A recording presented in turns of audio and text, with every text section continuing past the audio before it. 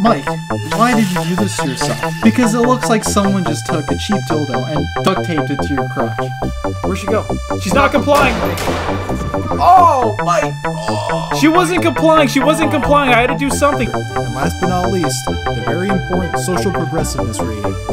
Let's hope it doesn't suck. Isn't this wrist blade red, dude? Get it away from me, dude. It's covered in your blood. This isn't. It's, it's healing right now. Give it a, a few more weeks, and I promise you, it will look like an actual penis.